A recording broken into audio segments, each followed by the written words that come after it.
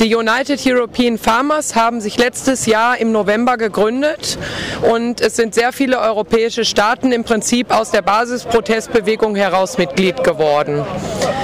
Die, der Erhalt der europäischen Landwirtschaft ist eine gesamtgesellschaftliche Aufgabe.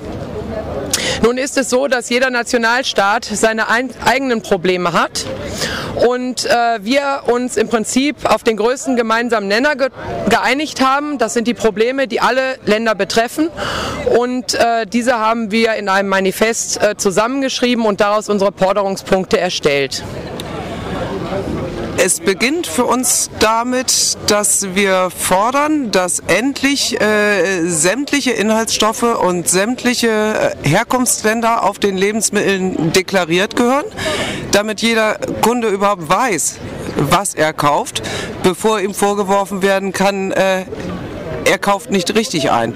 Um richtig einkaufen zu können, muss man wissen, was für ein Produkt habe ich dort in der Hand. Äh, dann ist für uns eine ganz große Forderung, nur ins Regal in Deutschland, in Europa, was zu eben diesen Bedingungen produziert worden ist. Von der Urproduktion an. Sprich, äh, sämtliche äh, Sozialforderungen, sämtliche Umweltschutzforderungen, äh, all, alles, was in Deutschland, in Europa gilt, muss für sämtliche Marktbeteiligte gelten. Wir fordern auch den Stopp des Importes von Palmöl und Palmfett. Wir haben in Europa genügend hochwertige tierische und pflanzliche Öle und Fette. Nicht nur unserer Gesundheit zuliebe, sondern insbesondere auch unserer Umwelt zuliebe. Wir brauchen in Europa eine Harmonisierung des Marktes. Es muss fair zugehen für alle europäischen Länder. Dazu ist es erforderlich, dass alle Länder einen einheitlichen Mindeststandard erfüllen müssen. Es ist in sehr vielen Ländern, speziell Deutschland, Österreich und den anderen Hauptagrarländern im Westen so, dass äh, nationale weitaus höhere Auflagen zu erfüllen sind, um die CC-Auflagen zu erfüllen.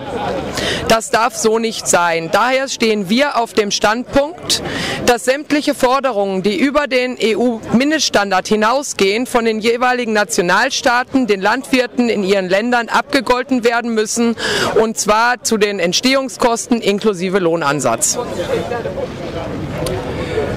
Wir brauchen einen Green Deal 2.0, damit unsere Kinder auch eine Zukunft in der Zukunft haben. Mir liegt es sehr, sehr am Herzen, dass unser mittlerweile knapp 600 Jahre in Familienhand äh, betriebener Betrieb, Hof, auch von meinem Sohn und von dessen Kindern weitergeführt werden kann. Dafür brauchen wir den Green Deal 2.0. Wir Landwirte müssen mitgestalten dürfen.